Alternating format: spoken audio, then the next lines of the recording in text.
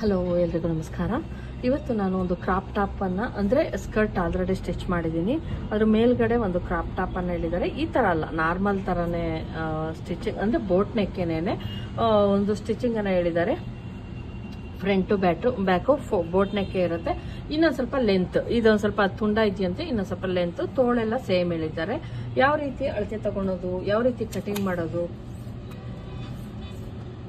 ಅಂತ ತೋರಿಸ್ತೀನಿ ನೋಡಿ. ಫಸ್ಟ್ ನಾನಿಲ್ಲಿ ಲೈನಿಂಗ್ ಅನ್ನ ಕಟ್ ಇದು ಲೈನಿಂಗು ಇದು ಮೇಲ್ಗಡೆ ಬರುತ್ತೆ ಶೈನಿಂಗ್ ಮೂರ್ ಲೇಯರ್ ಬರುತ್ತೆ ಫ್ರೆಂಡ್ಸ್ ಟೋಟಲ್ ಆಗಿ ಮೂರ್ ಲೇಯರ್ ಬರುತ್ತೆ. ಇದು ಬಂದು ನೆಟ್ ಇರೋದ್ರಿಂದ ಅದ್ರ ಮೇಲ್ಗಡೆ ಇದು ಬರುತ್ತೆ ಶೈನಿಂಗ್ ಅದ್ರೊಳಗಡೆ ನಾನು ಮತ್ತೆ ಲೈನಿಂಗ್ ಅನ್ನ. ಇಷ್ಟೇ ಕೆಲವರು ಇಷ್ಟೇ ಕೊಡ್ತಾರೆ, ಆದ್ರೆ ನಾನು ಅದಕ್ಕೆ ಲೈನಿಂಗ್ ಸಹ ಕೊಡ್ತಾ ಇದ್ದೀನಿ. ಯಾಕಂದ್ರೆ ಚುಚ್ಚಬಾರ್ದು ಯಾವುದೇ ಕಾರಣಕ್ಕೆ ಅನ್ನ ಕಾರಣಕ್ಕೆ ಅಷ್ಟೇನೆ ನೀವು ಬೇಕು ಅಂದ್ರೆ ನಾರ್ಮಲ್ ಆಗಿ ಲೈನಿಂಗ್ ಬೇಕಾದ್ರೂ ಕಟ್ ಮಾಡ್ಕೊಬಹುದು ಅಥವಾ ಮೈನ್ ಬಟ್ಟೆ ಬೇಕಾದ್ರೂ ಕಟ್ ಮಾಡ್ಕೊಬಹುದು ಅದು ನಿಮಗ್ ಬಿಟ್ಟಿದ್ದು. ಆದ್ರೆ ನಾನಿಲ್ಲಿ ಲೈನಿಂಗ್ ಅನ್ನೇ ಕ್ಲೀನ್ ಆಗಿ, ಅಂದ್ರೆ ಪರ್ಫೆಕ್ಟ್ ಆಗಿ ಇರೋ ತರ ಲೈನಿಂಗ್ ಅನ್ನ ಕಟ್ ಮಾಡ್ಕೊಂತೀನಿ. ಆಮೇಲೆ ಅದನ್ನ ಸ್ವಲ್ಪ ಸ್ವಲ್ಪ ಎಕ್ಸ್ಟ್ರಾ ಅನ್ನಂಗೆ ಕಟ್ ಮಾಡ್ಕೊಳ್ಳೋಣ. ಇಲ್ಲಿ ನೆಕ್ಕನ್ನ ನಾವು ಯಾವುದೇ ಕಟಿಂಗ್ ಮಾಡಲ್ಲ. ಮತ್ತೆ ಇಲ್ಲಿ ತೋಳನ್ನ ಕಟಿಂಗ್ ಮಾಡ್ಕೊತಾ ಇದ್ದೀನಿ. ತೋಳನ ಉದ್ದನೆ ತಗೊಂಡ್ಕೊಂತಾ ಇದ್ದೀನಿ. ಎಷ್ಟು ತಗೊಬೇಕು ಅಂದ್ರೆ ತೋಳಿನ ಉದ್ದ ಹುಡುಗಿ ತುಂಬಾ ಉದ್ದ ಇರೋದ್ರಿಂದ ತೋಳಿನ ಉದ್ದ ಇದೆಷ್ಟಿದೆಯೋ ಅಷ್ಟನ್ನೇ ತೆಗೆದುಕೊಳಕ್ ಹೇಳಿದ್ದಾರೆ. ನೋಡ್ತಾ ಇರ್ಬೋದು. ಇದೆಷ್ಟಿದೆಯೋ ಅಷ್ಟನ್ನೇ ತೋಳಿನ ಉದ್ದ ತಗೊಂತೀನಿ.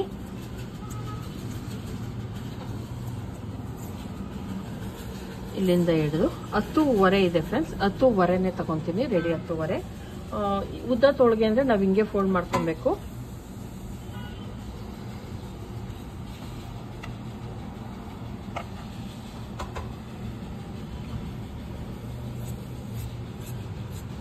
ಬೋಟ್ ಕ್ರಾಪ್ ಟಾಪ್ ಎಲ್ಲ ಸೇಮ್ ಒಂದೇ ಒಂದೇ ತರ ಇರುತ್ತೆ. ಈಗ ಇಲ್ಲಿ ನಾನು ಕಟಿಂಗ್ ಅನ್ನ ಮಾಡ್ಕೊಂಡಿದ್ದೀನಿ.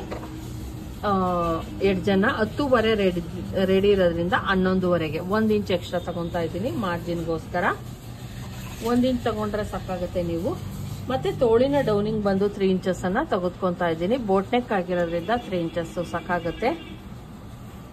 ಮತ್ತೆ ಇಲ್ಲಿ ತೋಳಿಂದು ಆರ್ಮೋಲ್ ರೌಂಡಿಂಗ್ ಅವ್ರದ್ದು ಎಷ್ಟಿದೆ ನೋಡೋಣ. ಮತ್ತೆ ಒಂದು ಕಾಲಿಂಚ್ ಲೂಸಿಂಗ್ ಹೇಳಿದ್ದಾರೆ. ಫುಲ್ ಬಾಡಿ ಫುಲ್ ಕಾಲಿಂಚ್ ಲೂಸಿಂಗ್ ಇದು ಒಂದು ಎರಡು ವರ್ಷದ ಮುಂಚೆ ಸ್ಟಿಚ್ ಮಾಡಿರೋದಂತೆ. ಹಂಗಾಗಿ ನಾನು ಸ್ವಲ್ಪ ಲೂಸಿಂಗ್ ಅನ್ನ ಸ್ಟಿಚ್ ಮಾಡ್ತೀನಿ.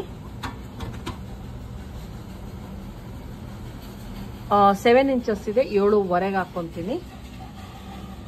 ಎಲ್ಲ ಪ್ರತಿಯೊಂದು ನಾನು ಹಾಫ್ ಹಾಫ್ ಇಂಚು ಜಾಸ್ತಿ ಇಡ್ತಾ ಇದ್ದೀನಿ. ನೋಡಿ, ಏಳುವರೆಗೆ ನಾನೊಂದು ಮಾರ್ಕನ್ನ ಹಾಕೊಂಡೆ ನೀಟಾಗಿ. ಈ ರೀತಿನೇ ಇರಲಿ ಸಾಕಾಗುತ್ತೆ. ಇದನ್ನ ಒಂದು ಶೇಪ್ ಜಾಸ್ತಿನೂ ಬೇಡ, ತುಂಬಾ ಜಾಸ್ತಿ ಎಲ್ಲ ಬೇಡ. ಸ್ವಲ್ಪ ಅಷ್ಟು. ನೋಡಿ, ಈ ರೀತಿ. ಈಗ ಇದನ್ನ ಕಟಿಂಗ್ ಮಾಡೋಣ. ಇದು ಬಂದು ಮಾರ್ಜಿನ್ ಪಾಯಿಂಟ್ ನೋಡ್ತಾ ಇರ್ಬೋದು, ನಾನು ಬ್ಯಾಕ್ ಪಾರ್ಟ್ ಅಲ್ಲಿ ಎಲ್ಲೂ ಕೂಡ ನಾನು ಇದು ಮಾಡಿಲ್ಲ. ನೀಟಾಗಿ ಕಟ್ ಮಾಡ್ಕೊಂಡಿದ್ದೀನಿ, ಸಾಕಾಗುತ್ತೆ. ಮತ್ತೆ ಇದಕ್ಕೆ ನಾನು ಸ್ವಲ್ಪ ಬಟ್ಟೆ ಕೂಡಿಸ್ತೀನಿ ಫ್ರೆಂಡ್ಸ್ ಯಾಕಂದ್ರೆ ಅಕಸ್ಮಾತ್ ಇನ್ನೊಂದು ಸ್ವಲ್ಪ ದಪ್ಪ ಆದ್ರೆ ಅಂದ್ಬಿಟ್ಟು ಇಷ್ಟೇ ಸಾಕಾಗುತ್ತೆ. ಆದ್ರೂ ಇನ್ನೊಂದು ಸ್ವಲ್ಪ ಅಟ್ಯಾಚ್ ಮಾಡ್ತೀನಿ ಬಟ್ಟೆಯನ್ನ. ತೋಳಾಯ್ತು. ಈಗ ಬಾಡಿ ಪಾರ್ಟ್ ಕಟ್ ಮಾಡ್ಕೊಳ್ಳೋಣ. ಬಾಡಿ ಪಾರ್ಟ್ಗೂ ಅಷ್ಟೇ. ಉಳಿದಿರೋಂತಹ ಬಟ್ಟೆ ಏನಿದೆ, ಅದನ್ನ ಈ ತರ ನೀವು ಬ್ಯಾಕು ಮತ್ತೆ ಫ್ರಂಟು ಸೇಮೇ ಹಾಕೊಬಹುದು ಬೋಟ್ ನೆಕ್ ಅಂದಾಗ ಸೇಮ್ ತಗೊಂಡ್ರು ನಡೆಯುತ್ತೆ. ಯಾಕಂದ್ರೆ ಬ್ಯಾಕ್ ಅಲ್ಲಿ ಉಕ್ಸ್ ಬರುತ್ತೆ ಫ್ರಂಟ್ ಅಲ್ಲಿ ಇದು ಬರುತ್ತೆ. ಏನು? ಇದು ಬ್ಯಾಕ್ ಉಕ್ಸ್ ಬರುತ್ತೆ. ಬ್ಯಾಕ್ ಉಕ್ಸ್ ಬಂದಾಗ ನಾವು ಸೇಮೇ ತಗೊಬೇಕು. ಕಡಿಮೆ ಎಲ್ಲ ತೆಗೆದುಕೊಳಂಗಿಲ್ಲ ಫ್ರೆಂಡ್ಸ್ ಸೇಮ್ ತೆಗೆದುಕೊಳ್ಳಿ. ನಾನಿಲ್ಲಿ ಮತ್ತೆ ಲೆಂತು ಅಷ್ಟೇ ಸೇಮ್ ತೆಗೆದುಕೊಳ್ಳಿ. ಯಾವುದೇ ಕಾರಣಕ್ಕೂ ಕಡಿಮೆ, ಹೆಚ್ಚು ಆ ಥರ ಎಲ್ಲ ಮಾಡಕ್ ಹೋಗ್ಬೇಡಿ. ನೆಕ್ಕು ಮತ್ತೆ ಶೋಲ್ಡರು ಅಷ್ಟೇ. ಸೇಮ್ ತಗೊಬೇಕಾಗತ್ತೆ, ಯಾವುದೇ ಚೇಂಜಸ್ ಎಲ್ಲ ಬೇಡ. ಆರ್ಮೋಲ್ ಆಗಿರ್ಬೋದು, ಪ್ರತಿಯೊಂದು ಸೇಮ್ ಇರುತ್ತೆ. ಇಲ್ಲಿ ಬ್ಲೌಸ್ ಲೆಂತ್ ಅವ್ರು ಇದಕ್ಕಿಂತ ಒಂದ್ ಇಂಚ್ ಎಕ್ಸ್ಟ್ರಾ ಇರೋದ್ರಿಂದ ಇದು ಎಷ್ಟಿದೆಯೋ ಅದಕ್ಕೆ ಇನ್ನ ಒಂದ್ ಇಂಚ್ ಎಕ್ಸ್ಟ್ರಾವನ್ನ ತೆಗೆದುಕೊಳ್ಳೋಣ. ಬ್ಯಾಕಲ್ಲಿ ಹಿಡ್ಕೊಂಡು ನೋಡ್ತೀನಿ ನಾನು.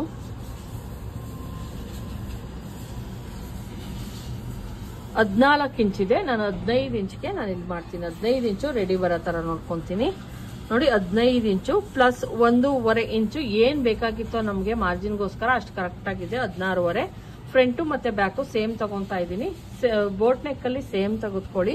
ಈಗ ಇದು ಬ್ಲೌಸ್ ಲೆಂತ್ ಎಷ್ಟು ಬೇಕಾಗಿತ್ತೋ ಅಷ್ಟು ಕರೆಕ್ಟ್ ಆಗಿ ಆಯ್ತು. ಈಗ ನೆಕ್ಕು ಮತ್ತೆ ಶೋಲ್ಡರ್ ಚೆಸ್ಟಿನ ಅಳತೆ ಮೇಲೆ ನಾವು ತೆಗೆದುಕೊಬೇಕಾಗುತ್ತೆ. ಹಾರ್ಮೋಲು ಮತ್ತೆ ಶೋಲ್ಡರ್ ಎಲ್ಲವನ್ನು ಕೂಡ ನೀಟಾಗಿ ಹಿಂಗೆ ಇಟ್ಕೊಳ್ಳಿ. ಇಲ್ಲಿ ಏನಿದೆಯೋ ಇಲ್ಲಿ ಈ ತರನೇ ಅಳತೆ ತಗೊಬೇಕು. ಇನ್ ಯಾವ ತರನು ತಗೊಳಕ್ ಆಗಲ್ಲ ನಾವು. ಈ ಕಂಕ್ಳಿಂದ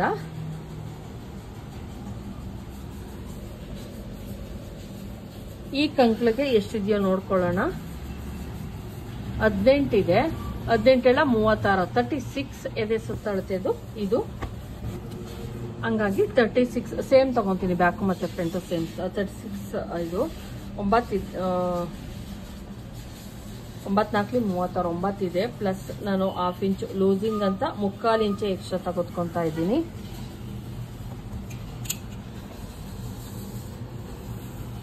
ಹಾಫ್ ಇಂಚ್ ಅವ್ರು ಲೂಸ್ ಬೇರೆ ಹೇಳಿದಾರಲ್ವಾ, ಹಂಗಾಗಿ ಒಂದ್ ಸ್ವಲ್ಪ ಎಕ್ಸ್ಟ್ರಾ ತಗೊಂತಾ ಇದ್ದೀನಿ ಫ್ರೆಂಡ್ಸ್ ಹಾಫ್ ಇಂಚ್ ನಾರ್ಮಲ್ಗಿಂತ ಲೂಸ್ ತಗೊಂತಾ ಇದ್ದೀನಿ.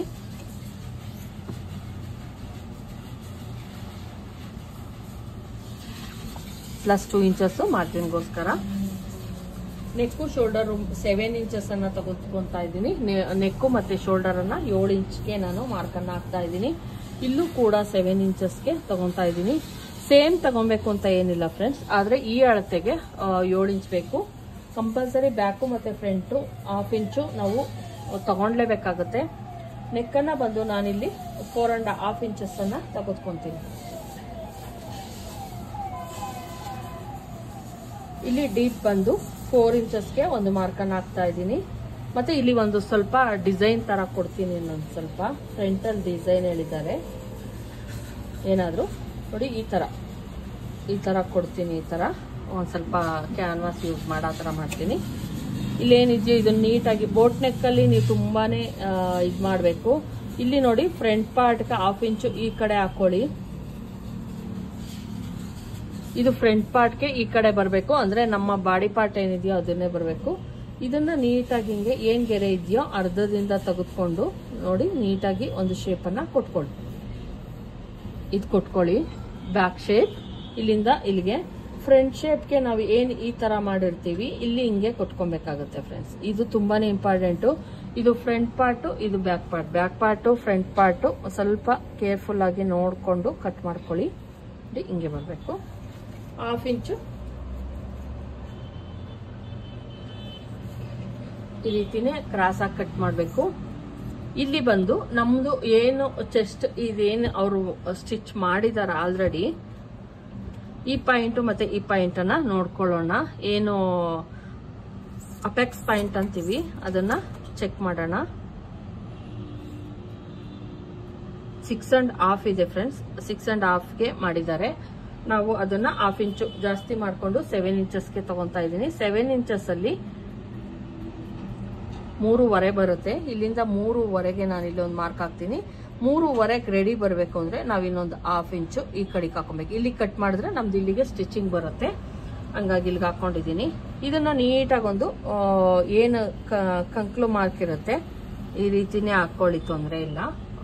ಮತ್ತೆ ಇಲ್ಲಿಂದ ಏನು ಈ ಮೇಲಿನಿಂದ ನಮ್ದು ಅಪೆಕ್ಸ್ ಪಾಯಿಂಟ್ ಅಂದ್ರೆ ಹತ್ತು ಇಂಚು ಹತ್ತುವರೆ, ಹನ್ನೊಂದು ಇಂಚುವರೆಗೂ ಬರುತ್ತೆ ಫ್ರೆಂಡ್ಸ್ ಇದು ನಮ್ಮದು ಏನು ನಮ್ಮದು ಚೆಸ್ಟ್ ಪಾಯಿಂಟ್ ಅಂತ ಇರುತ್ತೆ. ಇದು ಇಲ್ಲಿಗೆ ಇರುತ್ತೆ ಮತ್ತೆ ಇಲ್ಲಿ ನಾವು ಒಂದು ಟೂ ಇಂಚಸ್ ಅಷ್ಟು ಏನ್ ಇರುತ್ತೆ ಇಲ್ಲಿ? ಎರಡು ಟೂ ಅಂಡ್ ಹಾಫ್ಗೆ ಒಂದು ಮಾರ್ಕನ್ನು ಹಾಕೊಳ್ಳಿ ನೀವು. ಇಲ್ಲಿಂದ ಬಂದು ಟೂ ಇಂಚಸ್ಗೆ ಒಂದು ಮಾರ್ಕನ್ನು ಹಾಕೊಂತ ಇದ್ದೀನಿ ಈ ಕಡೆಗೆ. ನೋಡಿ, ಇದು ನಮ್ಮ ಚೆಸ್ಟ್ ಏನಿರುತ್ತೆ ಈ ತರನೇ ಹಾಕೊಬೇಕು ನೀವು ಮಾರ್ಕು. ನಮ್ಮ ಚೆಸ್ಟ್ ಏನಿದೆ, ಆ ತರನೇ ಬರಬೇಕು. ಆ ತರ ಮಾಡ್ಕೊಳ್ಳಿ. ಮತ್ತೆ ಇಲ್ಲಿಂದ ಹಾಫ್ ಇಂಚು ಟೂ ಇಂಚಸ್ ಮತ್ತೆ ಬೇಕು ಅಂದ್ರೆ ನೀವು ಇಲ್ಲಿ ಏನಾದ್ರೂ ನಾವಿಲ್ಲಿ ಜಾಸ್ತಿ ತೆಗೆದುಕೊಂಡು ಅಂದ್ರೆ ಇಲ್ಲಿ ನೀವು ಹಿಂಗ್ ಕ್ರಾಸ್ ತಗೊಬಹುದು ಚೆಸ್ಟ್ ದಪ್ಪ ಇರೋರಿಗೆ ಈ ರೂಲ್ಸ್ ಅನ್ನ ಫಾಲೋ ಮಾಡಿ.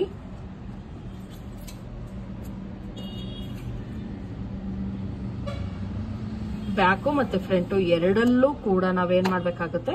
ಕಟ್ ಮಾಡ್ಬೇಕು ಇದನ್ನ. ಕಂಪಲ್ಸರಿ ಕಟ್ ಮಾಡ್ಲೇಬೇಕು. ಬ್ಯಾಕಲ್ಲಿ ನಮ್ದು ಇದು ಬರುತ್ತೆ. ಫ್ರಂಟ್ ಅಲ್ಲಿ ನಮ್ದು ಈ ತರ ಬರುತ್ತೆ. ನಾನು ಫ್ರಂಟು ಮತ್ತೆ ಬ್ಯಾಕು ಎರಡನ್ನೂ ಸೇಮ್ ನಾನು ಕಟ್ ಮಾಡ್ಕೊತಾ ಇದ್ದೀನಿ. ಎರಡೂ ಲೇಯರ್ ಅಲ್ಲೂ ನಾನು ಕಟ್ ಮಾಡಿದ್ದೀನಿ ಅಬ್ಸರ್ವ್ ಮಾಡಬಹುದು ಯಾಕಂದ್ರೆ ನಮ್ದು ಇಲ್ಲಿ ಡಾಟ್ ಹಿಡಿದಾಗ ಆಟೋಮೆಟಿಕಲಿ ನಮ್ದು ಸ್ಟ್ರೈಟ್ ಬರುತ್ತೆ. ಆಮೇಲೆ ಇಲ್ಲೂ ಕೂಡ ಜಾಸ್ತಿ ಆಗ, ಇದಾಗ ಚಾನ್ಸಸ್ ಇರುತ್ತೆ. ಇಲ್ಲೂ ಕೂಡ ಒಂದು ಹಾಫ್ ಇಂಚ್ ಅಷ್ಟು ನೀವು ಈ ರೀತಿ ಮಾಡ್ಕೊಳ್ಳಿ. ಅವಾಗ ನಮ್ದು ಏನ್ ಇಲ್ಲಿ ಡಾಟ್ ಹಿಡಿತೀವಿ, ಅವಾಗ ಲೈನ್ಸ್ ಅನ್ನೋದು ನೀಟಾಗಿ ಸ್ಟ್ರೈಟ್ ಆಗುತ್ತೆ. ಇಲ್ಲೂ ಕೂಡ ಒಂದ್ ಸ್ವಲ್ಪ ಕಟ್ ಮಾಡ್ಕೊಳ್ಳಿ. ಇಲ್ಲಿ ಸೆಂಟ್ರಲ್ ಬೇಡ. ಇಲ್ಲಿ ನಮ್ದು ಡಾಟ್ ಬರುತ್ತೆ, ಅಲ್ಲಿ ಬೇಡ.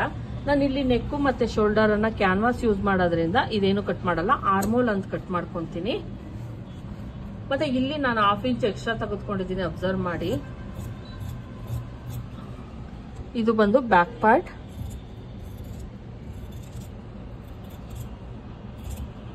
ಬ್ಯಾಕಲ್ಲಿ ಉಕ್ಸ್ ಇರೋದ್ರಿಂದ ಕಂಪಲ್ಸರಿ ನಾವು ಬ್ಯಾಕಲ್ಲಿ ಕಡಿಮೆ ತಗೊಳಕ್ ಆಗಲ್ಲ. ಅಷ್ಟೇ ತಗೊಬೇಕಾಗತ್ತೆ. ಮತ್ತೆ ಇಲ್ಲಿ ನೀವು ಕಂಪಲ್ಸರಿ ಯಾವುದೇ ಇದನ್ನ ಮಾಡಿ ಕಟ್ ಮಾಡಲೇಬೇಕು. ಬ್ಯಾಕು ಮತ್ತೆ ಫ್ರಂಟು ಸೇಮ್ ಕಟ್ ಮಾಡ್ಕೊಳ್ಳಿ. ಈಗ ಬ್ಯಾಕ್ ಪಾರ್ಟಲ್ಲಿ ನಾವು ಏನನ್ನು ಕಟ್ ಮಾಡೋ ಅಷ್ಟಿಲ್ಲ. ಯಾಕಂದ್ರೆ ನಮ್ದು ಇಲ್ಲಿ ಇಷ್ಟು ಹೋಗುತ್ತೆ ಫ್ರೆಂಡ್ಸ್ ನಮ್ದು ಏನಾಗುತ್ತೆ ಸಿಂಗಲ್ ಪಟ್ಟಿ ಡಬಲ್ ಪಟ್ಟಿಗೆ ಹೋಗುತ್ತೆ. ಹಂಗಾಗಿ ನಾನು ಯಾವುದನ್ನು ಕೂಡ ಕಡಿಮೆ ಮಾಡಲ್ಲ. ಇಷ್ಟೇ ಇರುತ್ತೆ.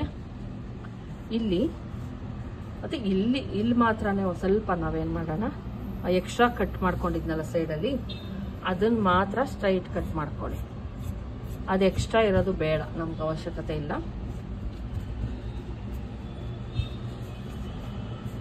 ಇಲ್ಲೂ ಅಷ್ಟೇ, ನೀಟಾಗಿ ಕಟ್ ಮಾಡ್ಕೊಳ್ಳೋಣ. ಇದು ಈ ಥರನೇ ಬರಲಿ ಫ್ರೆಂಡ್ಸ್ ಫ್ರಂಟಲ್ಲಿ ಬೇರೆಯವರು ಬೇರೆ ತರ ಕಟ್ ಮಾಡ್ತಾರಿಲ್ಲ ಅಂತಲ್ಲ. ನೋಡಿ, ಇಲ್ಲಿ ನಾನು ಆರ್ಮೋಲನ್ನ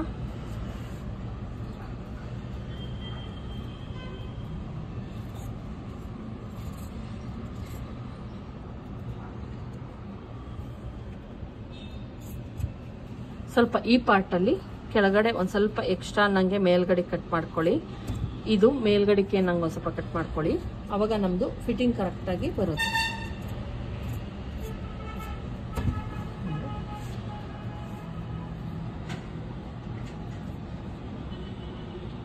ಇಲ್ಲಿಂದ ಕೂರ್ಸ್ಕೊಂಬಂದ್ರೆ ಒಂದ್ಸಲ ಅಬ್ಸರ್ವ್ ಮಾಡಿ ಕರೆಕ್ಟಾಗಿ ಬರ್ತಾ ಇತ್ತಾ ಇಲ್ವಾ ಅಂತ ನೋಡಿ ಕರೆಕ್ಟಾಗಿ ಬರುತ್ತೆ.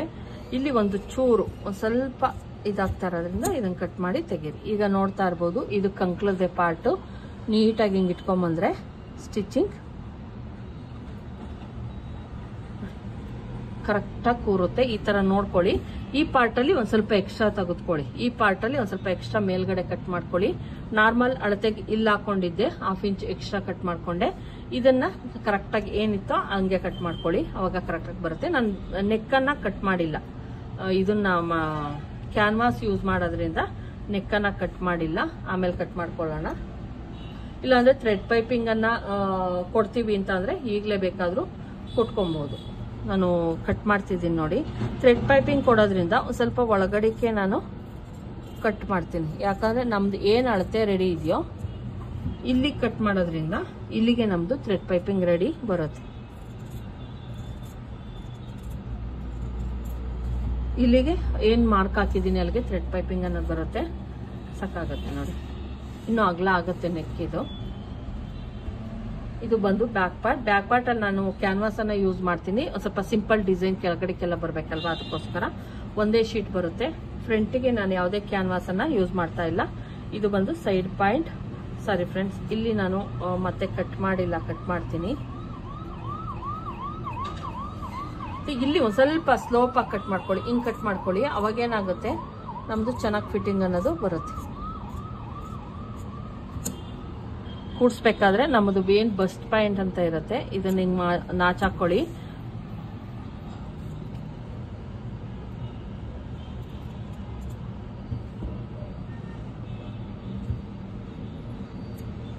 ಇಲ್ಲೂ ಅಷ್ಟೇ. ಕರೆಕ್ಟಾಗಿ ಕರೆಕ್ಟಾಗಿ ಬಸ್ಟ್ ಪಾಯಿಂಟ್ ಎಲ್ಲಿ ಬರುತ್ತೆ ಅಲ್ಲಿಗೆ ಮ್ಯಾಚ್ ಹಾಕ್ಕೊಳ್ಳಿ.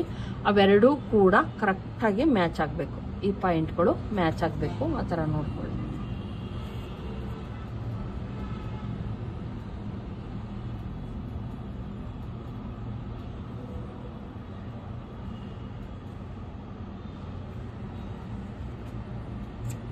ನಾವು ಬಸ್ಟ್ ಪಾಯಿಂಟ್ಗೆ ಅಂತ ಏನು ಮಾರ್ಕ್ ಹಾಕಿದ್ವಿ. ಅದು ಅದು ಮ್ಯಾಚ್ ಆಗ್ಬೇಕು ಆ ಥರ ನೋಡ್ಕೊಳ್ಳಿ. ಇದು ಬಂದು ಬ್ಯಾಕಲ್ಲಿ ಉಕ್ಸ್ ಬರುತ್ತೆ. ಯಾವ ರೀತಿ ಕ್ರಾಪ್ ಟಾಪ್ ಕಟಿಂಗ್ ಮಾಡೋದು? ಇದ್ರೊಳಗೆ ನಾವು ಇನ್ನ ಫ್ರಂಟ್ ಇನ್ನು ಫ್ರಂಟಲ್ಲಿ ಫ್ರಂಟಲ್ಲೂ ಕೂಡ ನಾವೇನು ಮಾಡಬೇಕಾಗುತ್ತೆ? ಉಲ್ಟಾ ತಿರುಗಿಸಿ ಸ್ಟಿಚ್ ಹಾಕೋದಕ್ಕಾಗಲ್ಲ. ಬ್ಯಾಕಲ್ಲೂ ಕೂಡ ನಾವು ಪಟ್ಟಿಯನ್ನು ಕೊಡಬೇಕಾಗುತ್ತೆ. ಫ್ರಂಟಲ್ಲೂ ಕೂಡ ಪಟ್ಟಿಯನ್ನ ಕೊಡಬೇಕಾಗುತ್ತೆ. ಇದು ನಾನು ಒಂದು ಮೀಟರ್ ಲೈನಿಂಗ್ ಅನ್ನ ತರಿಸಿದ್ರು ಕೂಡ ಶಾರ್ಟೇಜ್ ಬರುತ್ತೇನೋ ಗೊತ್ತಿಲ್ಲ. ಇದನ್ನ ಆಮೇಲೆ ಕಟ್ ಮಾಡ್ಕೊಂತೀನಿ ನಾನು. ಇದನ್ನ ಕಟ್ ಮಾಡ್ಕೊಳ್ಳೋಣ.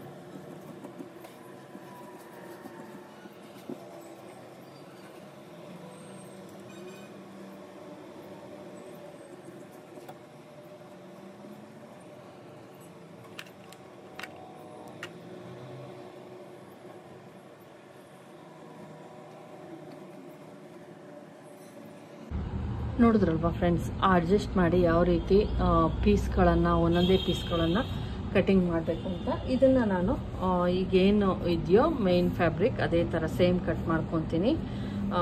ಕಟ್ ಮಾಡಿಕೊಂಡು ಅಟ್ಯಾಚನ್ನು ಮಾಡ್ಕೊತೀನಿ. ಈ ವಿಡಿಯೋ ಇಷ್ಟ ಆಗಿದ್ರೆ ಲೈಕ್ ಮಾಡೋದನ್ನ ಮರಿಬೇಡಿ. ದಯವಿಟ್ಟು ಸಬ್ಸ್ಕ್ರೈಬ್ ಮಾಡ್ಕೊಂಡು ನೋಡಿ. ಇಷ್ಟ ಆದರೆ ಒಂದು ಲೈಕನ್ನು ಮಾಡಿ. ಥ್ಯಾಂಕ್ ಯು ಫ್ರೆಂಡ್ಸ್ ಇದರ ಸ್ಟಿಚಿಂಗ್ ಕೂಡ ತೋರಿಸ್ತೀನಿ. ಮೂರು ಲೇಯರು ಕೂಡ ಇರುತ್ತೆ. ಇದಕ್ಕೆ ನಾನು ಯಾವುದೇ ಕಪ್ಸ್ ಹಾಕ್ತಿಲ್ಲ. ಬ್ಯಾಕಲ್ಲಿ ಸಿಂಪಲ್ ಡಿಸೈನ್ ಇರುತ್ತೆ ಫ್ರಂಟಲ್ಲೂ ಕೂಡ ಒಂದು ಸ್ವಲ್ಪ ಇದ್ರ ಥರ ಮಾಡ್ತಾ ಇದ್ದೀನಿ. Thank you friends